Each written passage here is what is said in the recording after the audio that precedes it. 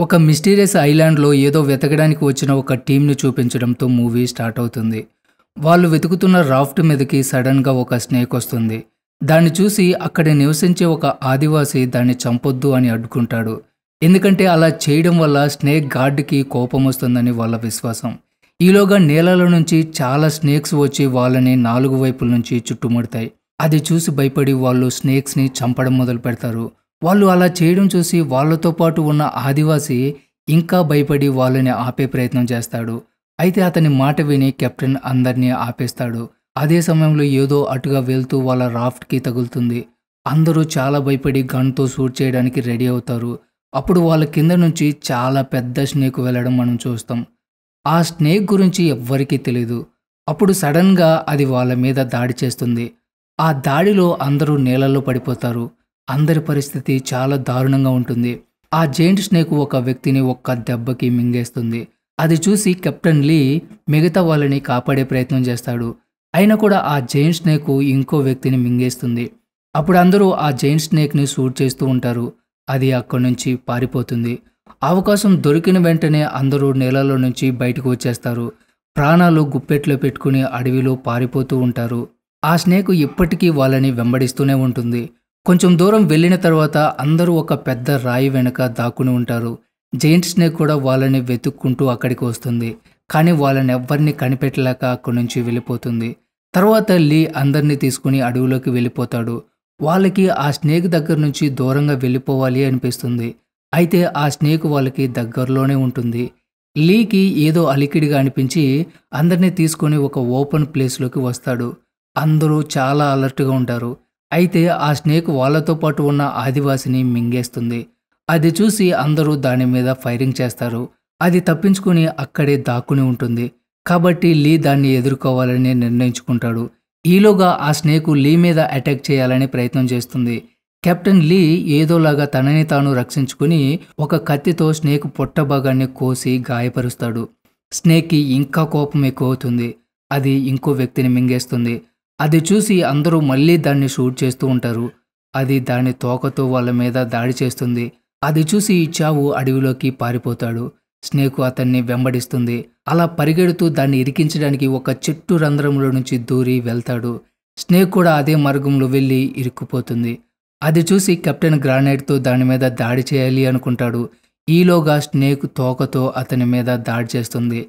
అదే సమయంలో గ్రానైట్ కూడా బ్లాస్ట్ అవడం వల్ల కెప్టెన్ గాయపడతాడు. అప్పుడు చావ్ కెప్టెన్కి సహాయం చేయడానికి వస్తాడు. స్నేక్ అతని మీద కూడా దాడి చేయడానికి రెడీ అవుతుంది. ఇక్కడ సీన్ కట్ అయ్యి ఇరవై ఐదేళ్ళ తర్వాతకి షిఫ్ట్ అవుతుంది. టాంగ్ సియో అనే ఇద్దరు ఎవరినో వెతకడానికి వచ్చుంటారు. అప్పుడు ఒక వ్యక్తి వాళ్ళ మీద దాడి చేస్తాడు. టాంగ్ అతనికి లీది లాకెట్ చూపిస్తుంది.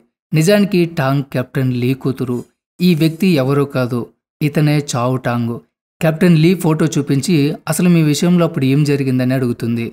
చావ్ మేమంతా ఒక రేర్ ప్లాంట్ని వెతకడానికి వచ్చాం. అయితే ఐలాండ్కి వచ్చిన తర్వాత మేము ఇక్కడ ఇరుక్కుపోయాం. కేవలం నేను మాత్రమే ప్రాణాలతో బ్రతికి బయటపడ్డాను అని తన దగ్గర ఉన్న ఫోటో చూపిస్తాడు.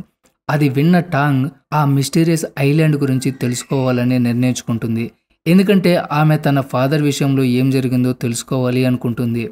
టాంగ్ చావ్ని మేము ఆ ఐలాండ్ని ఎలా వెతికి పట్టుకోగలమని అడుగుతుంది. చావ్ ఎవరు అక్కడి నుంచి ప్రాణాలతో తిరిగి రాలేరు అంటాడు. టాంగ్ మరి మీరు అక్కడి నుంచి ఎలా బయటపడ్డారని అడుగుతుంది. ఫ్లాష్ బ్యాక్లో చనిపోబోతూ ఉన్న ఒక చిన్న అమ్మాయి అక్కడికి వచ్చి ఫ్లూట్ ఊదడంతో ఆ జాయింట్ స్నేక్ అక్కడి నుంచి వెళ్ళిపోయింది. ఆ అమ్మాయి చావుని అక్కడి నుంచి తనతో పాటు తీసుకుని వెళ్ళింది. అక్కడ అతను చూసిన జాయింట్ స్నేక్ వాళ్ళతో సరదాగా ఉండడం చూస్తాడు. ఆ అమ్మాయి ఫాదర్ ఒక నోట్బుక్ని బిల్ చావుకి ఇచ్చాడు. చావు వాటిని టాంగ్కి ఇస్తాడు. దాని సహాయంతో వాళ్ళు ఆ ఐలాండ్ నుంచి బయటికి రావచ్చు. ఇది తెలుసుకున్న తర్వాత ఆమె కొంతమంది మనుషులతో ఐలాండ్ని వెతకడానికి వెళ్తుంది. ఎందుకంటే ఆమె స్నేక్స్ కూడా మనుషులతో పాటు జీవిస్తున్నాయని నిరూపించాలి అనుకుంటుంది. అప్పుడే ఒక స్నేక్ వాళ్ళ పక్క నుంచి వెళ్తుంది. ఫోటోగ్రాఫర్ జియాంగ్ అక్కడ టాంగ్ లియో ఫోటో తీస్తూ ఉంటాడు. ఈలోగా ఏదో వాళ్ళ బోట్కి డ్యాష్ ఇస్తుంది. అయితే వాళ్ళు దాన్ని పెద్దగా పట్టించుకోరు. అది మళ్ళీ వాళ్ళ బోట్కి డ్యాష్ ఇస్తుంది. డిటెక్టర్ అలర్ట్ చేయడంతో బోట్ కెప్టెన్ వెనక్కి తిరిగి వెళ్ళిపోదామంటాడు. కానీ టాంగ్ ముందుకు వెళ్ళమని చెప్తుంది. ఇంకొంచెం దూరం వెళ్ళిన తర్వాత బోట్ వాళ్ళని అక్కడి నుంచి వదిలేసి వెళ్ళిపోతుంది. బోట్ మళ్ళీ మూడు రోజుల తర్వాత వాళ్ళని తీసుకురావడానికి వస్తుంది. ఇప్పుడు వాళ్ళందరూ ఒక రాఫ్ట్ సహాయంతో ప్రయాణం చేస్తూ ఉంటారు. అప్పుడు చాలా పాములు వాళ్ళని చుట్టుముడతాయి. జీనా వాటిని చంపాలి అనుకుంటుంది. కానీ సియో ఆమెని ఆపుతాడు. ఎందుకంటే వీళ్ళు దానికి ప్రమాదం తలపెట్టనంత వరకు అవి వాళ్ళని ఏమీ చేయవని అతనికి అర్థమవుతుంది. కొంచెం సేపట్లోగా స్నేక్స్ అన్నీ అక్కడి నుంచి వెళ్ళిపోతాయి. అలా కొంచెం దూరం ప్రయాణం చేసిన తర్వాత వాళ్ళు ఆ ఐలాండ్ని కనిపెడతారు. రాత్రి వాళ్ళు అక్కడ నివసించే కొంతమంది ఆదివాసులను చూస్తారు. వాళ్ళు ఒక అతన్ని పట్టుకుని ఉంటారు. అక్కడికి లేన్ అనే అమ్మాయి వస్తుంది. ఆమెతో పాటు బాటు అనే ఒక గార్డ్ ఉంటాడు. వాళ్ళ మాటలను బట్టి ఆ వ్యక్తి వాళ్ళ పర్మిషన్ లేకుండా అక్కడి నుంచి పారిపోవాలనే ప్రయత్నం చేశాడని అర్థమవుతుంది. అందుకు శిక్షగా లేన్ అతని చెవిని కట్ చేస్తుంది. అతన్ని స్నేక్కి ఆహారంగా వేయమని ఆర్డర్ పాస్ చేస్తుంది. తర్వాత రోజు టాంగ్ తన టీంతో అడవిలోకి వెళ్తుంది. అక్కడ నెట్వర్క్ కూడా ఉండదు. అప్పుడు మనం అక్కడ ఒక మిస్టీరియస్ వ్యక్తిని చూస్తాం. అతను వాళ్ళని గమనిస్తూ ఉంటాడు. చాలా దూరం వెళ్ళిన తర్వాత ఒక సరస్సు దగ్గర ఒక గుడిసె కనిపిస్తుంది. అందరూ అక్కడికి వెళ్ళగానే లేన్ అక్కడికి వస్తుంది. మీరు ఇక్కడికి రావడానికి కారణం ఏంటని అడుగుతుంది. అలాగే అక్కడ ఆమె సిస్టర్ సాసా కూడా కనిపిస్తుంది. అప్పుడు టాంగ్ మేము గ్లోబల్ జాగ్రఫీ మ్యాగ్జిన్ కోసం పనిచేస్తున్నాము ఇక్కడ చాలా అరుదైన పేతన్స్ ఉన్నాయని మేము విన్నామంటుంది. సాసా ఇక్కడ అలాంటి పేతన్స్ ఏమీ లేవు. ఎంత తొందరగా వీలైతే మీరు అంత తొందరగా ఇక్కడి నుంచి వెళ్ళిపోండి అని చెప్తుంది. అయితే సియో మా బోటు మమ్మల్ని తీసుకువెళ్ళడానికి ఇంకో మూడు రోజుల్లో వస్తుంది. అప్పటి వరకు మేము ఇక్కడే ఉంటామంటాడు. లెన్ వాళ్ళు అక్కడ ఉండటానికి పర్మిషన్ ఇస్తుంది. కానీ బాటు ప్రవర్తన చాలా విచిత్రంగా ఉంటుంది. రాత్రి అందరూ ఒక చోట ఉంటారు. అప్పుడు లేన్ సాసా వాళ్ళ కోసం తినడానికి ఆహారం తీసుకుని వస్తారు. అప్పుడు టాంగ్ తన దగ్గర ఉన్న బిల్లు లేన్కి చూపిస్తుంది. దాన్ని చూడగానే లేన్ బాధతో అక్కడి నుంచి వెళ్ళిపోతుంది. అందరూ ఆశ్చర్యపోతారు. ఇక్కడ బేజన్ అనే వ్యక్తి ఎవరైనా ఉన్నారా అని అడుగుతుంది. సాసా ఏమీ సమాధానం చెప్పకుండా వాళ్ళతో జాగ్రత్తగా ఉండమని చెప్పి అక్కడి నుంచి వెళ్ళిపోతుంది. రాత్రి అందరూ నిద్రపోతూ ఉంటారు. మరోవైపు లేన్ మీరందరూ నా ఫాదర్ని చంపారు. కాబట్టి మిమ్మల్ని ప్రాణాలతో వదిలిపెట్టను అంటుంది. ఆ తర్వాత రోజు ఉదయం టాంగ్ తన టీంతో ఐలాండ్లో ఎక్స్ప్లోర్ చేయడానికి వెళ్తుంది. ఎందుకంటే ఆమె స్నేక్ గార్డ్ గురించి తెలుసుకోవాలి అనుకుంటుంది. అప్పుడు సాసా లేన్ దగ్గరికి వచ్చి మీరు ఇంకా ఇన్నోసెంట్ మనుషుల్ని చంపడం ఆపేయాలి అంటుంది. అయినా కూడా ఆమె మాటలు ఏమాత్రం పట్టించుకోకుండా బాటుకి వాళ్ళని చంపమని ఆర్డర్ వేస్తుంది. మరోవైపు టాంగ్ తన టీంతో అడవిలో వెళ్తూ ఉంటుంది. అక్కడ కొంతమంది వీళ్ళని చూస్తూ ఉంటారు. అప్పుడు వాళ్ళకి ఎదురుగా ఒక వ్యక్తి వస్తాడు. టాంగ్ అతన్ని ఏదో అడిగే ప్రయత్నం చేస్తుంది. ఈలోగా బాటు అక్కడికి వస్తాడు. అందువల్ల ఆ వ్యక్తి అక్కడి నుంచి వెళ్ళిపోతాడు. అందరికీ ఆశ్చర్యంగా అనిపిస్తుంది. టాంగ్కి లేని ఏదో దాచిపెడుతుంది అనిపిస్తుంది. ఆ తర్వాత అందరూ అక్కడి నుంచి వెళ్ళిపోతూ ఉంటారు. ఆ మిస్టీరియస్ వ్యక్తి వీళ్ళని ఇంకా ఇప్పుడు కూడా వాళ్ళని గమనిస్తూ ఉంటాడు. కొంచెం దూరం వెళ్ళిన తర్వాత లియోకి ఏదో అలజడి అనిపిస్తుంది. అప్పుడు సడన్గా కొంతమంది వాళ్ళ మీద దాడి చేస్తారు.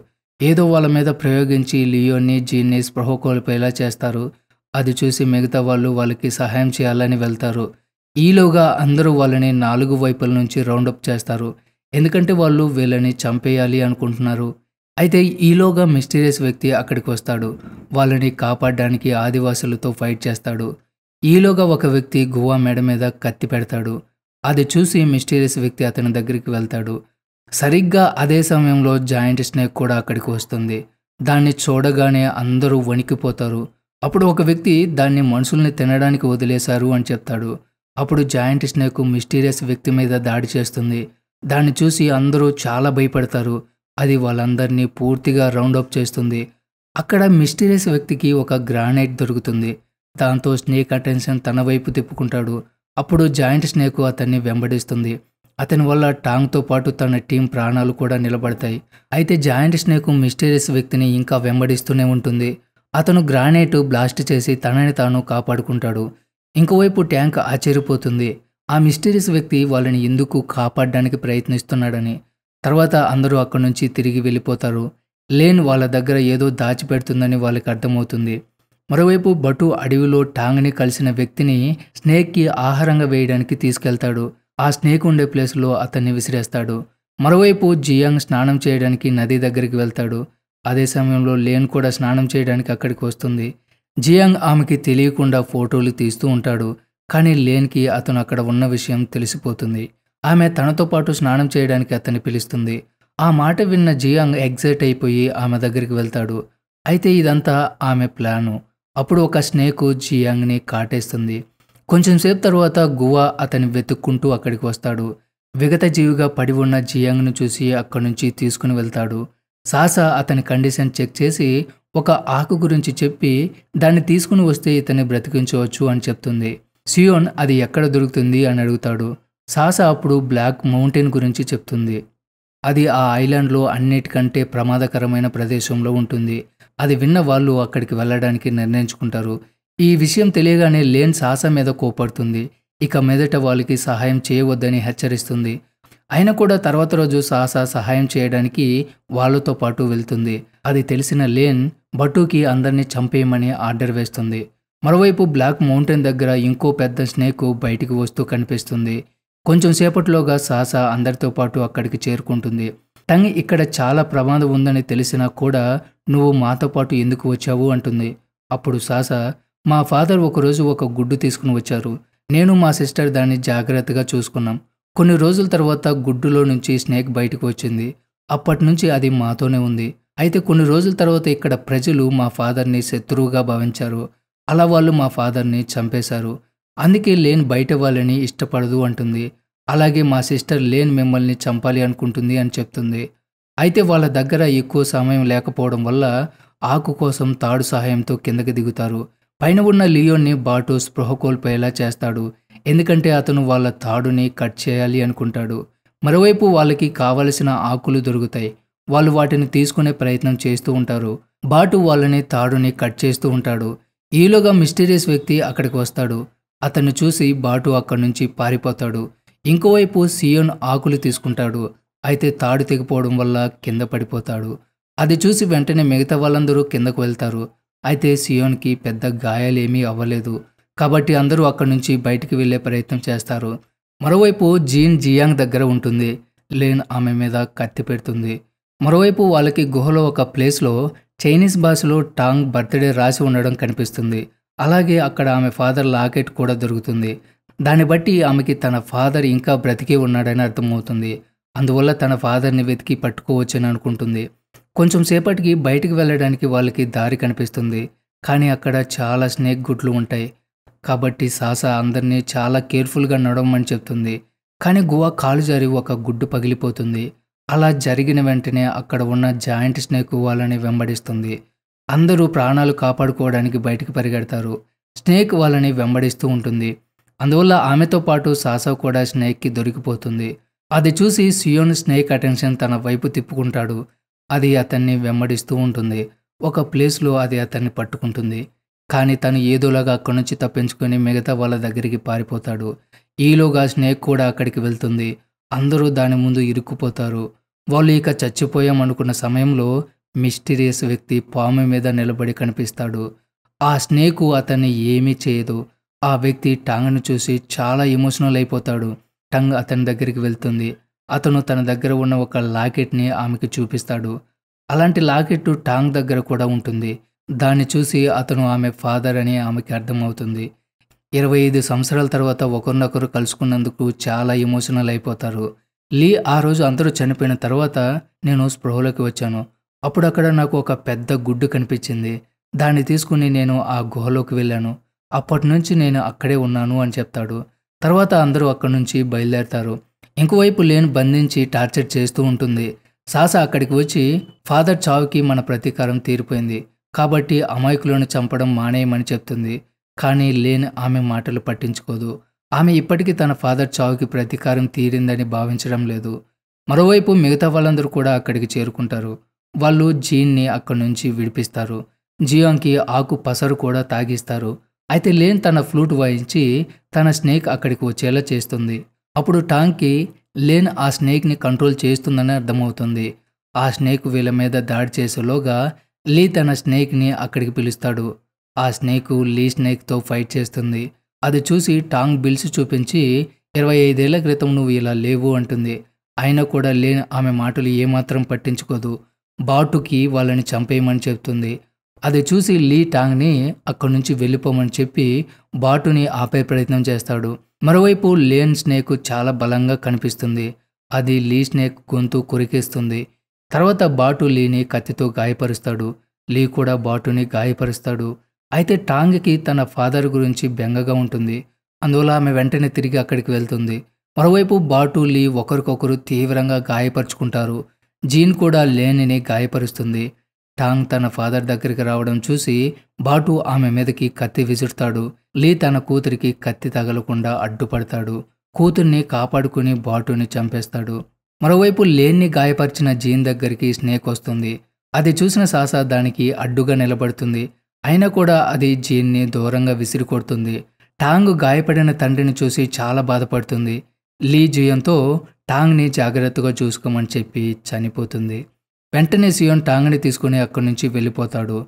జీన్ గ్రానైట్తో జాయింట్ స్నేక్ని గాయపరుస్తుంది. కోపంతో స్నేక్ రగిలిపోవడం చూసి సాసాని కాపాడడానికి లేని వెళ్ళి దాని ముందు నిల్చుంటుంది. ఆ వెంటనే స్నేక్ లేనిని మింగేస్తుంది. జీన్ వెంటనే సాసాతో పాటు అక్కడి నుంచి పారిపోతుంది. టాంగ్ సియోన్ కూడా ఆమెకి ఎదురు పడతారు. మళ్ళీ స్నేక్ వాళ్ళ ఎదురుగా వస్తుంది. అయితే అది సడన్గా భయపడి అక్కడి నుంచి పారిపోతుంది. ఎందుకంటే అక్కడ స్నేక్ గార్డ్ ఉంటాడు. అది వెళ్ళిపోయిన తర్వాత గాడ్ స్నేక్ తిరిగి నీళ్ళల్లోకి వెళ్ళిపోతుంది. తర్వాత టాంగ్ తన ఫాదర్ శవాన్ని పూడ్చిపెడుతుంది ఆమె ఈ ఐలాండ్ సురక్షితంగా ఉండటానికి దాని గురించి బయట ప్రపంచానికి తెలియకుండా ఉంచాలి అనుకుంటుంది. ఆఖరిగా సాసా కూడా వీళ్ళతో పాటు అక్కడి నుంచి వెళ్ళిపోతుంది. ఈ సీన్తోనే మూవీ ఎండ్ అవుతుంది. సో ఇది ఫ్రెండ్స్ ఇవాళ video. Don't forget subscribe. Thanks for watching.